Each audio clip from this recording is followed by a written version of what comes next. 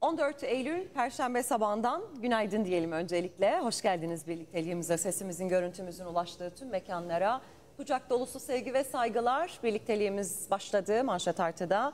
Ben Baykan Gürses ve Aziz Karaziz'le birlikteyiz. Aziz günaydın. Günaydın.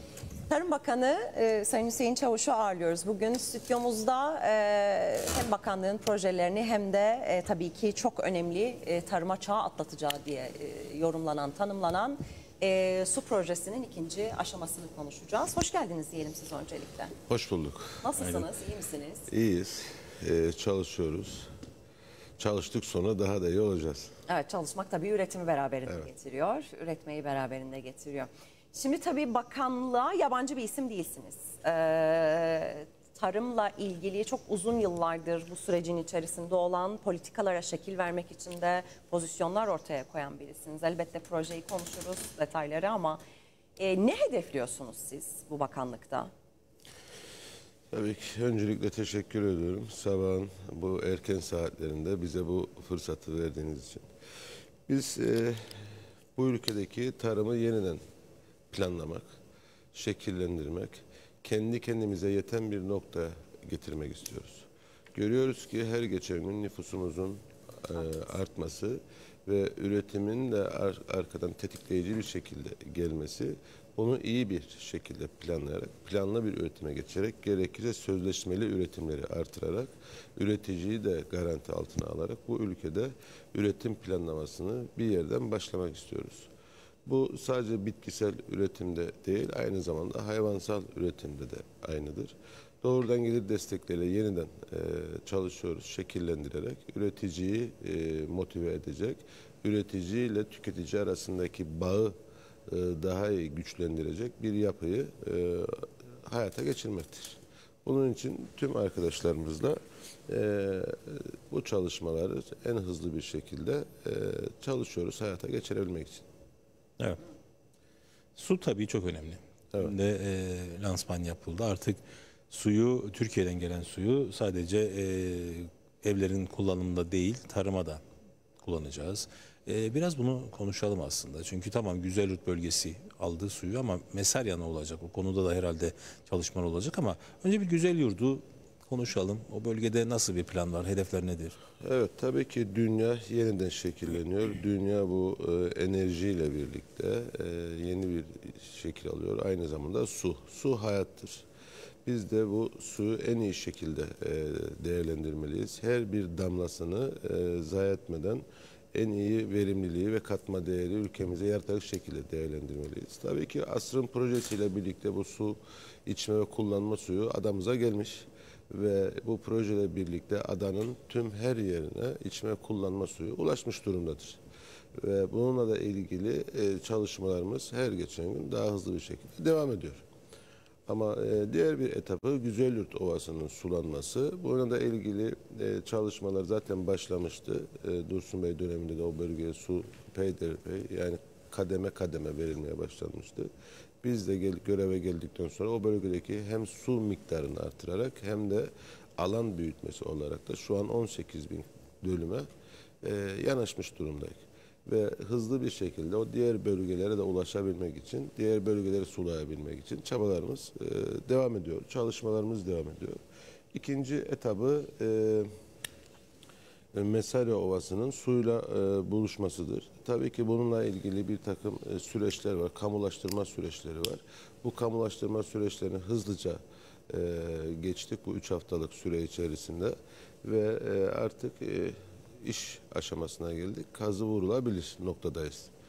Mesarya bu getirme amacımız Mesarya'nın kaliteli toprağıyla Türkiye'nin kaliteli suyunu buluşturmak ve verimliliği artırmaktır. Tabii ki ondan önce yapılacak e, en güzel ve en büyük çalışma bu panelde ortaya çıkacak sonuç ülkemizin toprak yapısının e, ortaya çıkacağı ve toprak sınıflandırmasının ortaya çıkacağı ve en iyi şekilde bu toprağı suyu olduğu gibi toprağımızı da kullanmanın önemi ortaya çıkacaktır.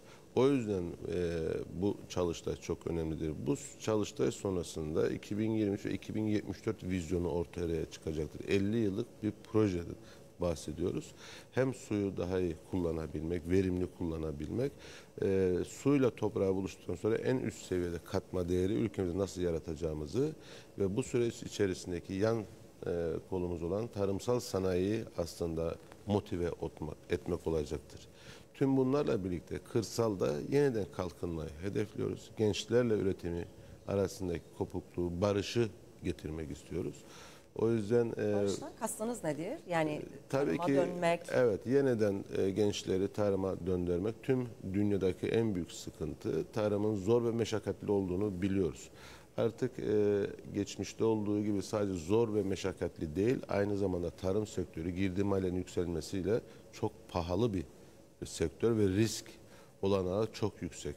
Ee, üstü açık bir fabrika düşünün ve her türlü doğal afetten hava koşullarına etkilenebilecek ve buna bağlı olarak da e, üreticilerin yeni giren gençlerin aslında bu riskleri de gözlerini korkutmadan e, üretime kazandırmaktır. O yüzden bu çalıştay çok önemlidir. Ve bu çalıştay sonrasında inanıyorum ki bu su ile birlikte, meseleye gerek suyla birlikte üretimde biz çağ atlayacağız. Evet bu doğrudur. Ee, o yüzden e, tüm çalışmalarımızı sadece biz suyun bu 3-3,5 yıl içerisinde meseleye gelme sürecini beklemeden kendimiz de bu çalışmaları yaparak buradan çıkacak sonuçlardan sonra bizim üzerine düşen görevler olacaktır.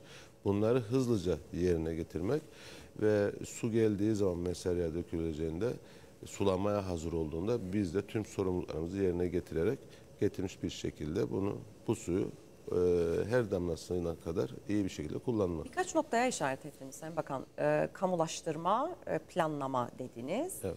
Ee, bu konularla ilgili e, hızlandırılmış bir sürece ihtiyaç duyacağız herhalde. Ee, Yani birinci planlama birinci etabıyla ilgili kamulaştırma süreci bitti.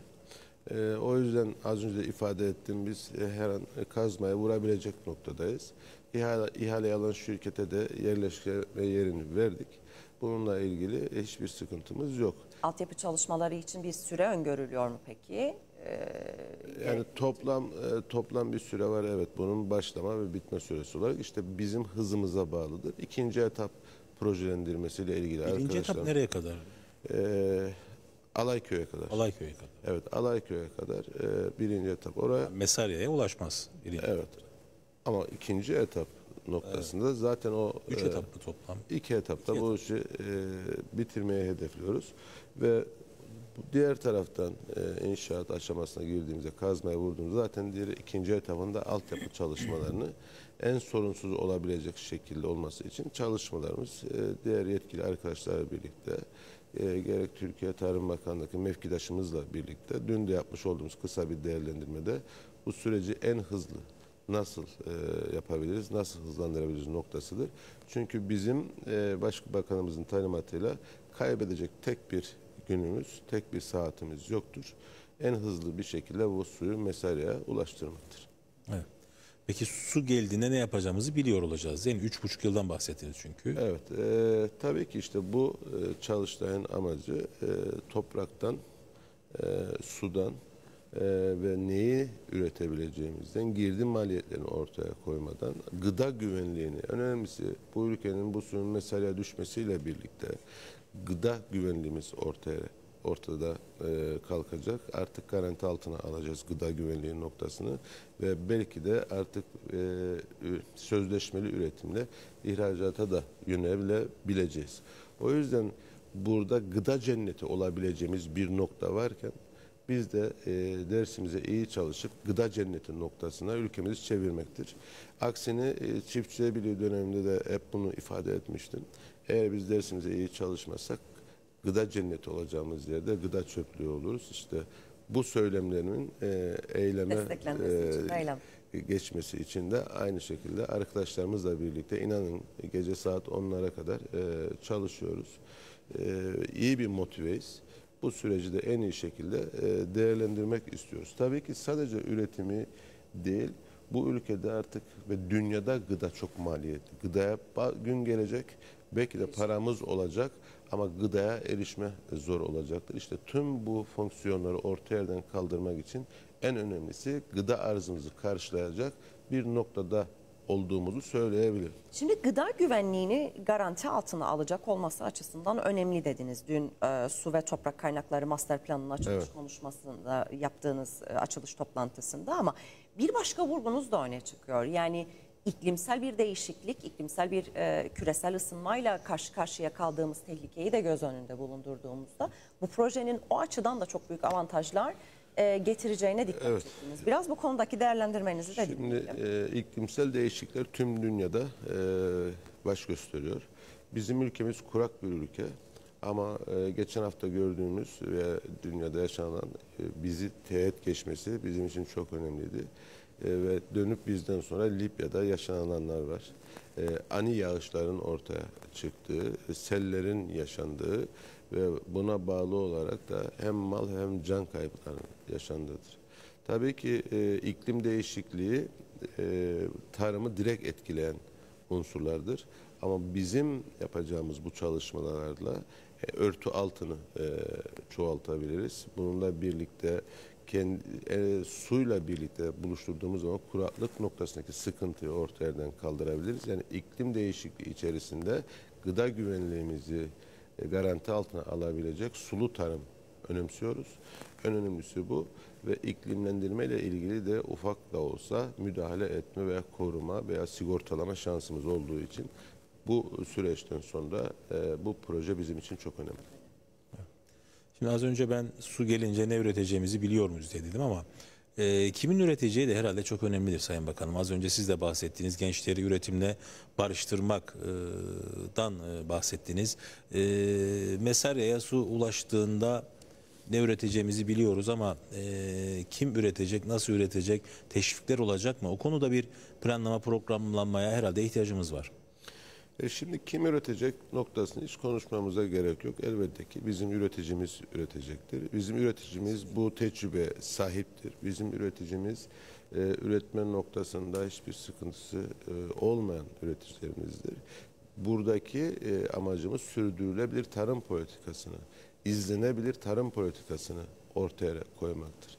Yani üretmekle üreticiyi üretme esnasında yalnız bırakmak, risklere karşı yanında olamamak, tüketiciyi de aslında girdi maliyetlerinin yükseldiği için e, yalnızlaştırmak, işte fiyat budur, e, buradan bu fiyattan tüketmek zorundasınız demek de doğru değildir. İşte bunların tamamı bu hükümet döneminde e, planlanıyor. Sayın Başbakanımızın talimatıyla biliyorsunuz ki hal yasası e, meclisten geçti.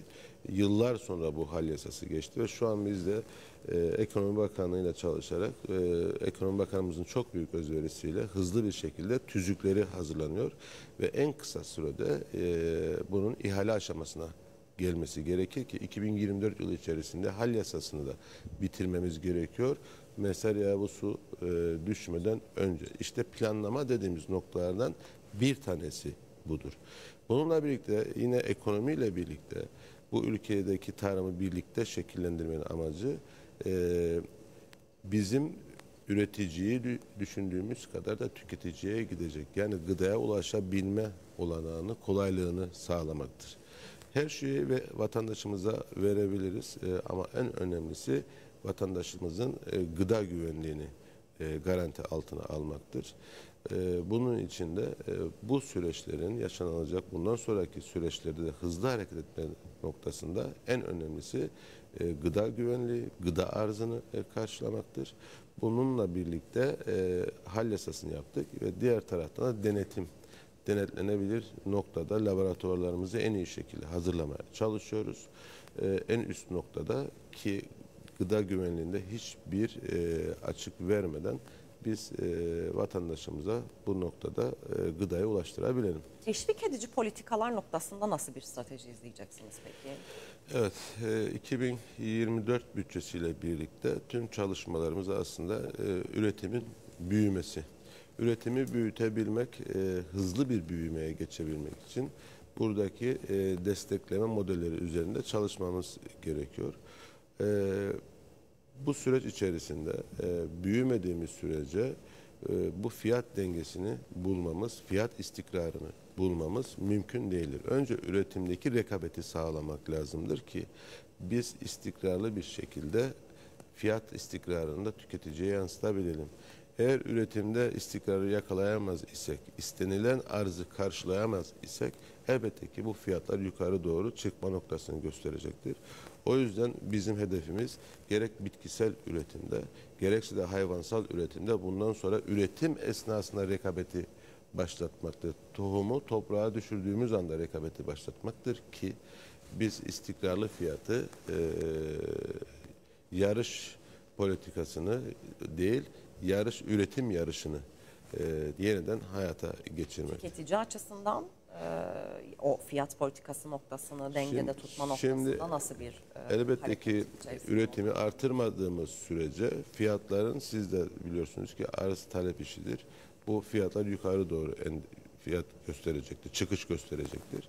Ama biz üretimde rekabeti e, ve büyümeyi hedeflediğimiz sürece ve başardığımız sürece bu fiyatlarda arz talep aşağıya doğru daha da inme Bu noktasına gelecek. söylediğinizde en çok et fiyatları konusundaki tartışmada görüyoruz. Ee, burada farklı bir politika güder misiniz? Yani e, çeşitliliği artırmak noktasında Yani e, et noktasında tabii ki orada da büyüme hedefliyoruz. Bizim politikamızın en başta gelen noktası büyüme. Gerek büyük başta gerekse küçük başta e, büyüme hedefimiz var. Ama burada sadece hayvan varlığını çoğaltmak değil, üretici sayısıyla birlikte hayvan varlığını e, büyüme noktasında önemsiyoruz. Böylelikle üretimde rekabeti artırabileceğiz.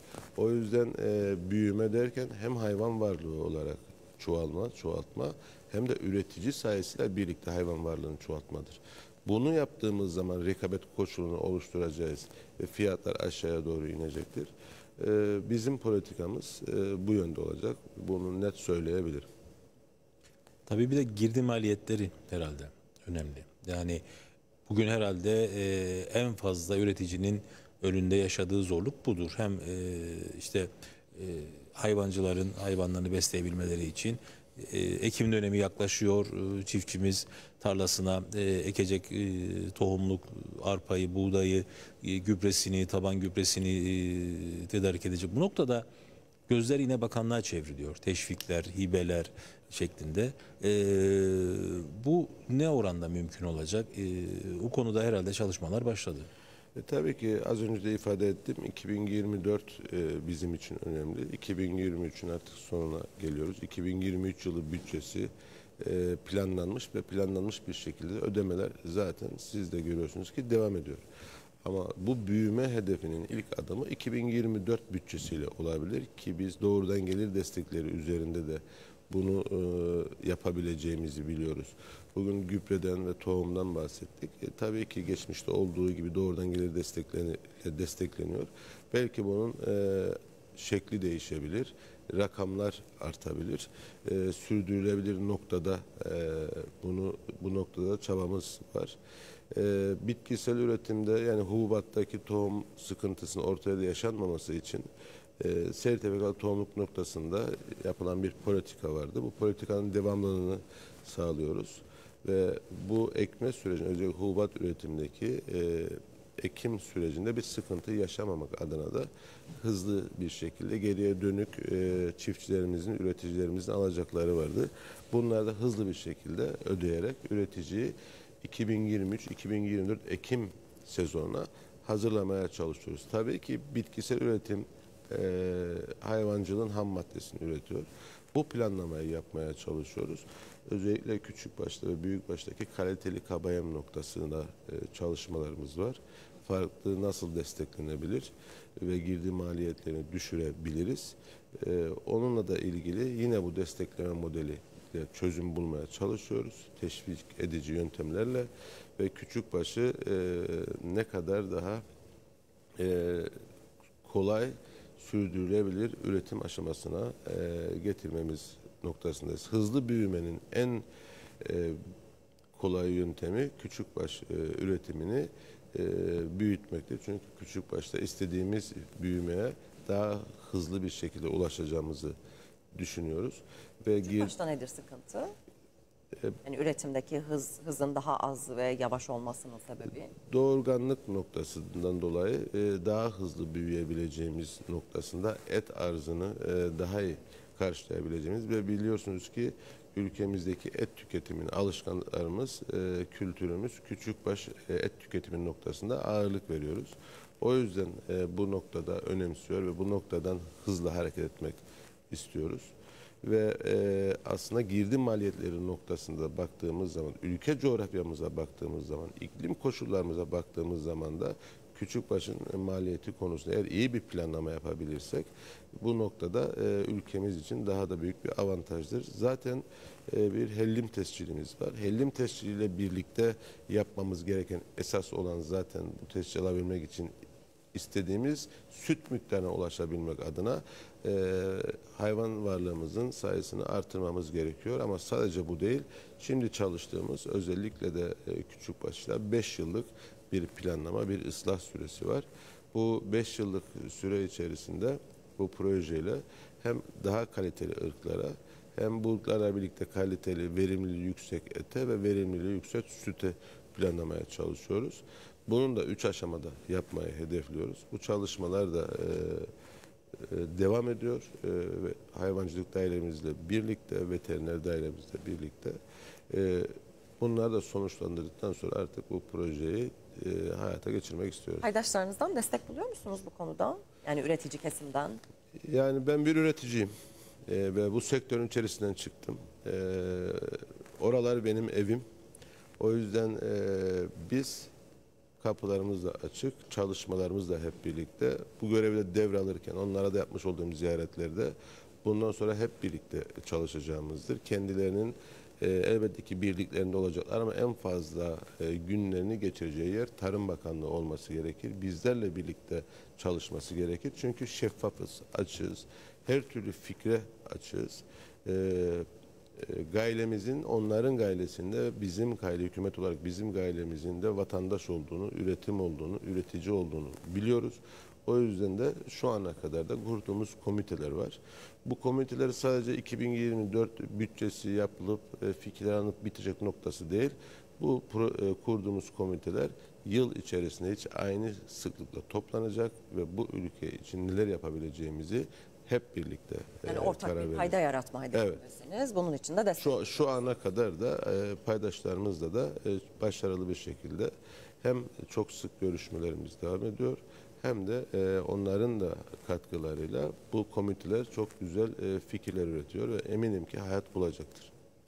Ee, Sayın Bakanım ben az önceki o küçük baş hayvan konusuna dönmek istiyorum. Irktan bahsettiniz, ıslahtan, ırkların ıslahından. Yeni ırklar e, söz konusu olacak mı? Çünkü geçmiş dönemlerde geldi birkaç çeşit ırk. E, yeni ırklar gelir mi yoksa mevcutluğa yönelik bir ıslah Bizim e, benim önemsediğim kendi hayvan varlığımız içerisindeki ıslah projesidir ki bana göre de doğrusu budur.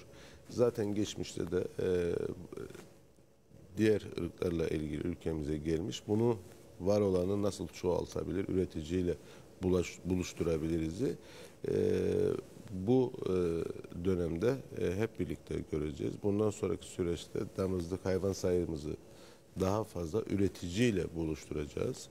E, bunun projelerini Devlet Üretme Çiftliği e, Müdürümüz e, ve yeniden e, ortak paydası olan hayvancılık dairemiz ve veteriner dairemiz birlikte çalışıyor.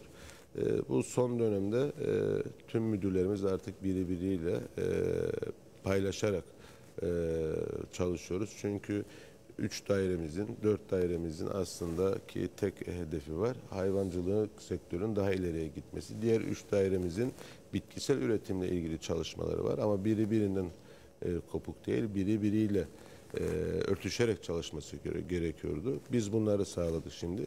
E, bütün dairelerin yapmış olduğu çalışmalar veya ortak politika birbiriyle örtüşmesi gerekir. Bunu da e, şu ana kadar kısa bir süre içerisinde başarılı olduğunu görüyoruz. Öncelikle müdürlerimizin motive olduğunu, arkada e, daha altta çalışanlarımızın motive olduğunu gördüğümüz için bu bizi başarıya götürecektir noktasını şimdiden görebiliyorum. E, teşvikler herhalde tarım için e, vazgeçilmezdir. Onu da konu- konuşmak lazım. E, diğer sektörlerde e, belli bir süre e, öngörülüyor ama tarımda teşvik sürekliliği herhalde hayati bir e, önem taşıyor. Bu sadece bizim ülkemizde e, değil Aziz Bey. Bu tüm dünyada doğrudan gelir destekleri artık her geçen gün tarımda artırarak devam ediyor. Çünkü az önce de ifade ettim. Eskiden tarım meşakkatliydi. Yani geceniz gündüzünüz yoktu, e, hafta sonunuz yoktu, özel günleriniz yoktu. Ama bunun akabinde artık e, tüm dünyada girdi maliyetlerinin e, yükselmesiyle birlikte risk olanağı artması, iklim değişikliği birlikte bu üretimden tüm dünyada çıkışlar var. Ee, İngiltere'de bugün hobi tarımcılığının başladığını, Avrupa'da bugün hobi tarımcılığının başladığını e, görüyoruz. Çünkü her bir noktadan gıda talebini karşılamak için tüm dünya seferber olmuş noktadadır. Sizler de görüyorsunuz ki enflasyon tüm dünyada yüksek ama e, diğer bir taraftan gıda enflasyonu e, da yükseliyor. O yüzden e, bizim ülkemizde şu an için geldiğimiz noktada desteklerle üretimi bugünlere getirdik. Bundan sonraki süreçte de biz üretimde büyümeyi hedef koyuyoruz ki biz Avrupa'nın yaşadığı o sıkıntıları yaşamayalım. Elbette ki bazı arkadaşlarımız ve diğer e, noktada baktığımızda Avrupa'nın destekleri bizlere örnek gösteriyorlar. Doğrudur. Ama onlarda da sürdürülebilirlik artık tartışılıyor ki her geçen gün Avrupa'daki üreticilerin eylem yaptığını görüyoruz. Onlarda da akaryakıtın yükseldiğini görüyoruz. Gübre fiyatlarının yükseldiğini görüyoruz.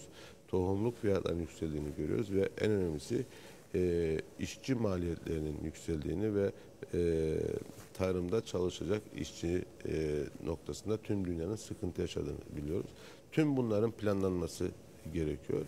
Biz de bu noktada e, bunları şimdiden 2024'ü şimdiden planlama noktasındayız ki Ne kadar Ne, bir bütçe e, öngörünüzde e, ne- olacağı da netleşmiş Evet. olacak herhalde. ama sadece bütçeyle de bitmiyor. Ekim planı olduğu gibi hasat planı da var. Hasat planında iş gücüne ihtiyacınız vardır. İş gücü bulmakta e, üreticilerimiz zorlanıyor. Bu noktada önlerini açmak gerekir. E, ve hasat sonrası hasatı çok önemlediğim, önemsiyoruz. Bununla ilgili çalışmalarımız var. Raf ömrünü uzatacak çalışmalarımız olmalı ve en önemlisi bu ülkede artık tarımsal sanayiye hızlı bir şekilde önem vermek, teşvik etmek, yatırımların belki de tarımsal sanayiye gelmesi gerekmektedir. Bu konuda ümitliyim. E, ileriki süreçte e, işte çağ atlayacak bir projedir diyorum. Çünkü üretimin olduğu yerde artık sanayi bir kaçınılmazdır. Sanayi, tarım ve tarımsal sanayinin olduğu yerde de artık turizmin lokomotif olması, tam anlamıyla lokomotif olması kaçınılmazdır. O yüzden bu proje sadece bu çalıştay sadece toprak ve suyun çalıştayı değil, e, bu aslında 50 yıllık ülkemizin gıda güvenliği noktasındaki bir planlamanın başlangıcıdır. Bize de düşen bu süreci çok iyi bir şekilde yönetmek. Bu söylediğiniz resmin bütününe Evet. daha doğru bir planlama. Evet. Yasal mevzuat noktasında da e, bir takım çalışmalar ortaya konulması gerekecek mi peki? Hangi Yani bu konuda? planlamayı e, yaparken Tabii ki e, işte bunların bir tanesi e, neydi? Hal yasasıydı. yasası. Ve diğer noktada da e, çalışmalar, yasal düzenlemelerle ilgili arkadaşlarımız e, tadil edecek yasaları varsa bizi daha hızlandıracak noktada, üreticiyi daha e, hızlandıracak noktada e, ki yasalarla ilgili arkadaşlarımız da bu konuda çalışıyor. E, zeytin yasamız vardı, ze- zeytinyağı yasamız vardı. Bununla ilgili yasa geçti. Tüzükleri e, kalmıştı. Hızlı bir şekilde e, tüzüklerini geçirip çalışıyoruz. Ama en önemlisi denetimle ilgili e, olan kısmı e, önemsiyoruz. Sizler de göreceksiniz ki gördüğünüz gibi e, bu kısacık süre içerisinde e, biz e, tarımda denetimi artırdık. Hijyen noktasındaki denetimlerimizi artırdık ama her alanda artırdık. Sadece tarımsal e, gıdada, e, bitkisel gıdada değil, et ve et satış noktalarındaki e, denetimlerimizi de artırdık. Tabii ki basından sizde de e, eminim Veteriner ki- dairesinin veteriner dairesinin Elbette. konuda kontrolleri. yani ben geçmişte hep söylediğim e, üretim aşamasında biz üreticilerimizi her koşulda denetliyoruz, kayıt altına alıyoruz, kayıtlılığı artırıyoruz. Ama üretim sonrasındaki süreçte de denetimi artırmak gerekir diye söylemiştim. Göreve geldiğimiz günden beridir de e, veteriner dairesiyle birlikte bu denetimleri çok sık bir şekilde başlattık ve başlattığımız sıklıkta devam edecektir. Sayın Bakan bugün gazetelerden birinde şimdi tabii hem helyumin tescili konusu hem de süt üreticilerinin eee, yapmış olduğu bazı açıklamalar var. E, süt fiyatlarında Avrupa'yı geçtiğimize dair değerlendirmeler ortaya konulmuş. Avrupa ve Türkiye'ye göre süt fiyatlarının çok yüksek olduğu, e, devletin yaptığı parasal desteğin de yeterli olmadığı ile ilgili ve bu fiyatlarla da rekabet koşullarının artık gittikçe zorlaştığı yönünde. Bu konuyla ilgili e, bu konu özelinde nasıl bir yol haritası izlemeyi planlıyorsunuz? Ee, tabii ki geçmişten gelen herhalde bir sorun. Çünkü ben geldikten sonra herhangi bir şekilde süt fiyatıyla ilgili bir artış yapmadım. Ee, bu arkadaşımız herhalde bu sorunlarını geçmişte dile getirmesi gerekirdi. Ama e, önemsiyoruz. Bugün basında ben de gördüm. Ee, bizdeki gerek e, süt desteği, hayvan üretimine verdiğimiz süt desteği, gerekse de imalatçı noktasında verdiğimiz destek ee, elbette ki dönem dönem e, her iki sektör arasında da e, sıkıntılar yaşanabilir. Çünkü bu fiyat dengesini bul- bulmak da kolay değildir. Her geçen gün enerji fiyatları değişiyor, enerji fiyatları yükseliyor. Onların da girdi maliyetleri e, yükseliyor. Önemli olan nokta e, paydaşların azemin noktada e, mutlu olabileceği ve üretimi birlikte götürebileceğimiz e, noktayı sağlamaktır. E, onların hayvancıya ihtiyacı var. E, hayvancı bu sütü üretmezse zaten o sütü bulup çalışamayacaklardır. Ama hayvancının da onlara ihtiyacı var. Ürettiği sütü e, onlar olmadan pazarlayamayacak noktadadır. İşte bu köprüyü iyi kurmak gerekir. Bir tarafın diğer bir tarafa e, bu şekilde basın aracılığıyla konuşulmaması gerekir. Ben ilk yaptığım ziyaretlerin tamamında biz sektördeki tüm paydaşlar basından basına birbirimize konuşmayalım. Gelin hep birlikte konuşalım noktasıydı.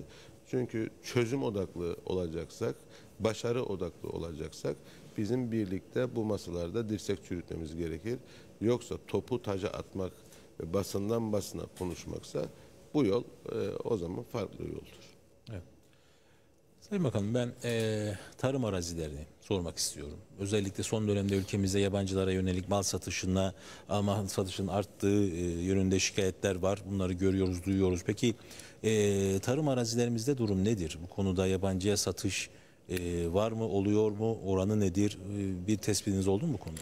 Elbette ki e, sizlerin e, duyduğu gibi bizler de e, hızlı bir şekilde e, toprak satışının olduğunu duyuyoruz. E, bunun önüne geçebilmenin tek bir yolu var Aziz Bey. Üretimi desteklemek e, ve üretimden kazanmayı sağlamaktır.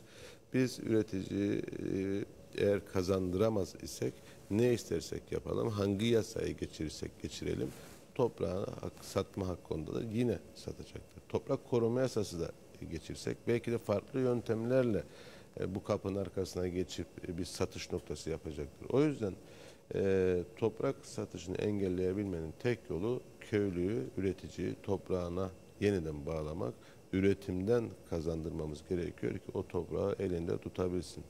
Bununla ilgili bir e, çalışma e, şeklindeyiz. Şöyle ki e, bazı noktalarda bu araziler satılıyor ama ne kiralanıyor e, ne de üretimle buluşturuluyor Atıl bir şekilde. ve e, boş tutuluyor. Bizim bu ülkede az önce ifade ettiğim her suyun her damlasını en iyi şekilde verimli kullanabileceğimiz gibi, bilmemiz gibi toprağımızın her bir karışını da en iyi şekilde değerlendirmemiz gerekir ve katma değere dönüştürmemiz gerekir. O yüzden bununla da ilgili bir e, çalışmamız var. E, iki yıl mı olur, bir yıl mı olur e, noktasında eğer bu arazi ekilmiyor, atıl durumdaysa biz devlet olarak bunu kiralayabilir miyiz ve o parayı hesabına o mal sahibine yatıralım. Çünkü bu topraklardan e, boş kalmasına müsaade etmeyeceğimi ilk geldiğim gün söylemiştim. Bununla da ilgili çalışmamız var. E, şu an yasal açıdan nasıl yapabileceğimizle ilgili çalışıyor. Hızlı bir şekilde muhakkak bu da hayat bulacaktır. Çünkü biz bu ülkede münavemeyi önemsiyoruz. Biz bu ülkede e, gıda güvenliğini önemsiyoruz. Biz bu ülkede hayvan varlığının büyümesini önemsiyoruz ve çalışıyorsak bu ülkedeki bunları yapabilmemiz için de toprak yapısına ihtiyacımız vardır. Bu ada ülkesiyiz. Bu kısa kısıtlı toprak yapımızla bu şekilde atıl durumda bırakabileceğimiz bir toprağımız, böyle bir lüksümüz yoktur. O yüzden bu yasal düzenlemeler dediğiniz nokta bir tanesi de e, budur. Hızlı bir şekilde bu konuda çalışacağız. Toprak Ürünleri Kurumu'nu da sormak istiyorum. Toprak Ürünleri Kurumu çok önemli. Ee, Nedir şu an için bakışınız Toprak Ürünleri Kurumu'na?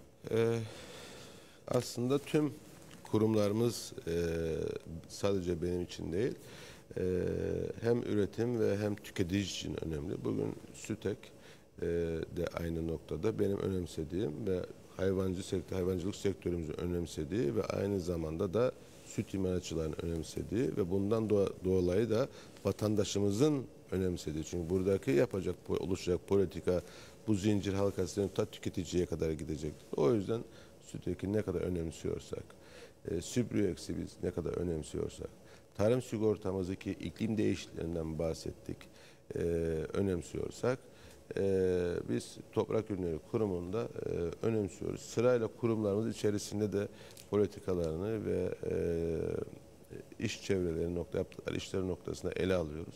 Tarım sigortası e, na bir görev verdik ve nasıl e, yelpazeyi büyütebiliriz. E, bugün e, örtü altı domatesi kapsam alanına al, şu an kapsam alanında ama açığa ektiğimiz domates risk altında, kapsam alanında değil. Bu kabul edilebilir değildi. Bu bir örnek. Bunlarla ilgili yaş sebzeyi nasıl kayıt altına alır, doğrudan gelir desteğini daha fazla öder ve aynı zamanda da e, riskine de ortak oluruz. Riskini de garanti altına alır. Doğal afetlerin noktasındaki nok- e, durumda diye bir görev verdik. Müdürümüz bunu çalışıyor. Hızlı bir şekilde sonuçlandıracağından eminim. Kısa bir süre içerisinde de bunu e, üreticimizle ve sizlerle e, paylaşacağız. Yine e, süt kurumuna görev verdik. Önceliğimiz içme sütünü nasıl ucuzlatabiliriz ve her eve her evde bu içme sütünü rahatla tüketebilir noktasıdır. O konuda da süt kurumumuz çalışıyor, önemsiyoruz. Süprex'in ile ilgili de çalışmalarımız var. Orada da birkaç atılım yapmak istiyoruz. Çünkü Süprex'in olmadığı bir noktada üretici tamamen artık özel e, teslim olmuş nokta olur. Süprex'i e, de önemsiyoruz ve büyüme noktasında inşallah hedefleri olacaktır. Bu yönde çalışmalarımız olacak. Aynısı bunlar gibi Toprak Ürünleri Kurumu da hem bitkisel hububat üretiminin olması olması hem de hayvancılık sektörünün olması olmazıdır. Elbette e, burada da bazı planlamalara gideceğiz. Toprak Ürünleri Kurumu çeşitliliğini artırmak zorundadır. E, ve ancak bu şekilde buradaki fiyat istikrarını, fiyat dengesini tutabiliriz. Tabii ki bu 2-3 haftalık bir süre içerisinde bunu yapmak mümkün değil ama bundan sonraki süreçte e, her şeyimizi Toprak Ürünleri Kurumu'nun yanında olup bu noktayı e, oradaki yönetimle birlikte planlayacağız. Şimdi e, şöyle bitirelim Sayın Bakanım. Bahsettiniz aslında bir yerinde o gaileden, e, gailemiz aynı dediniz. E, bakanlığın kapısından günü geldi bir eylemci olarak girdiniz, üretici olarak girdiniz, üretici temsilcisi e, olarak girdiniz. Şimdi bakan olarak giriyorsunuz Tarım Bakanlığı kapısından. Gaileler değişmedi herhalde, aynı gaileli e, giriyorsunuz. Evet tabii ki e, az önce bu konuşmamın başında da ifade ettim. Ben bir e, üreticiyim ve üretici olarak da e, kalacağım. Çünkü benim e, iş aşkım üretimdir. Bu topraktan geldim ve buradan kopmam da mümkün değil. Tabii ki bu sektörden çıkan biri olarak e, ve gaylemin üretim olduğunu, diğer arkadaşlarımla birlikte gaylemizin üretim olduğunu e, biliyorum. Buraya geldiğimizde de e, biz aslında şapkamızı değişmedik. Aynı şapkayla birlikte arkadaşlarımızla birlikte buralara geldik. Tabii ki bazen konjektür de e, oluşacak olan politikaları zorlayabilir, geciktirebilir. Ama e, ben Başbakanımızın desteğiyle, hükümetimizin desteğiyle e, anavatan Türkiye'mizin yapacağımız yapacağımız politikalar vereceği destekle bu süreci en iyi şekilde e, planlayıp götürebileceğimizi biliyorum. Ee, az önce e, söyleyecektim konu hızlı geçti. Şimdi yaşadığımız e, bir sıkıntımız var. Haruf fiyatlarıdır. Ee, Ve sık- eylem, eylem sıkça, yapabileceklerini e, ifade ettiler. yani bu aslında eylemlik bir konuda elbette ki yapabilirler ama ben onlara karşı da çok şeffafım. Ee, üreticilerimiz geliyor ve açıkça hepsini söylüyorum. Biliyorsunuz ki geçen yıl yaşanılan bir e, hasat sonrasında bir kriz oldu. Nedir? E, çekirdek fiyatlarının e, 20 dolar bandından e, 2 dolar bandına bir anda düşmesi. Tabii ki bu oradaki piyasayı da e, Avrupa piyasasında alt üst etti. Bununla ilgili yeniden dengeler kuruluyor. E, elbette bizim elimizde bu fiyatı açıklayacak olan kişi e, Tarım Bakanlığı değil. Geçmişte Tarım Bakanlığı açıklamıyordu. Diğer bir kuruluşumuz bunun fiyatını açıklıyor. Ama biz sorumluluktan e, kaçan biri değiliz. Biz pazarı bulmaya çalışıyoruz. Geçmişte de e, buralardan gelip yurt dışından gelip harubu e, almak isteyen üreticiler vardı. Vatandaşlarımız oluyordu. E, bu yıl bu biraz gecikti çünkü e, İtalya borsasında daha fiyatlar oluşmadı. Türkiye'deki daha fiyatlar oluşmadı. Bizdeki haruk da Türkiye ve Türkiye üzerinden başka ülkelere gideceği için oluşmamış bir fiyat üzerinden buradan bir alım yapmaları da e, noktasında sıkıntılar var. Biz bunları e, çözmeye çalışıyoruz. Buraya yeni bir e, alıcıları çağırıyoruz, davet ediyoruz, görüşüyoruz. E, bunları birkaç tanesiyle de e, alım noktasına geldik. Ama beklediğimiz şey buradan üreticilerimize de söylemek lazım. Evet e, dünya borsasında ve Türkiye'de ve bizde fiyatlar şu ana kadar geç açıklanabilecek noktaya gelmiş olabilir ama ürünlerin en iyi şekilde değerlendirebilmesi için inanın ki çabalıyoruz. 3 hafta önceki fiyatları e, söylesek e, o zaman eminim ki e, çok üzülürdü üreticimiz. İşte bizim bu çabamızla, işte bizim bu e, girişimimizle piyasayı iyi okumaya çalışmamızla şu an için fiyatlar yukarı doğru çıkma noktasındadır. Ümit ediyorum ki önümüzdeki hafta bu netleşecek. Zaten hasatını yapmış durumda üreticimiz e, ve yapmaya devam ediyor. O yüzden e, biraz daha sabır, e, en iyi şekilde ürünlerini en iyi fiyattan e, değerlendirilecek ve biz de harup sadece e, meyvesini değil aslında önemsediğimiz ağacıdır ve bu süre içerisinde son 4 yıl içerisinde harubun iyi bir fiyat almasıyla birlikte müthiş bir harup ekimi doğal olarak e, başlamıştır. Bunun devamlılığını önemsiyoruz. Aslında harubun e, meyvesinden daha çok harup ekiminin devamlılığını e, önemsiyoruz ki vatandaş olarak aslında hep önem, hepsimizin önemsediği bu. Bunun devamlılığı için de iyi bir fiyat ortaya çıkması lazım. Tüm çabamız da bu yönde. Tahmin ediyorum ki önümüzdeki hafta içerisinde de e, Türkiye'de bu fiyatlar e, şekillenecek. Evet. Bunu da duyurmuş oldum. Evet. Peki. eee Sayın Bakanım e, süremizi tamamladık. Çok teşekkür ederim size. Ben Geldiğiniz için. Ve eee, üretim tabii ki çok önemli. Bu önemli konuyu konuşma fırsatını bizlere yarattığınız için çok teşekkür ediyorum. İyi çalışmalar diliyorum. Ben teşekkür ediyorum. Sizlere Çok de iyi yayınlar ederiz. İyi diliyorum. çalışmalar diliyorum size. Evet. Bugünü bitirdik. Yarın yine sizlerin karşısındayız. O vakte kadar hoşça kalın. Sağlıkla kalın. Görüşmek dileğiyle. Hoşçakalın.